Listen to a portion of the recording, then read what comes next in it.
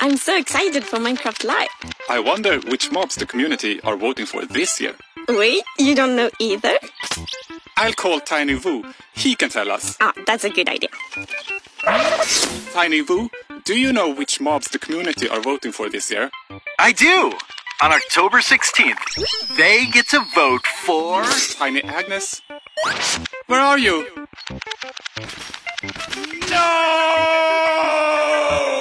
Where did Tiny Agnes go? Will Tiny Vu forgive Tiny Jens for hanging up on him? And which mobs are you voting for in this year's Minecraft Live? We'll be releasing videos about the vote all week, so check back to find out what you'll be voting for this year.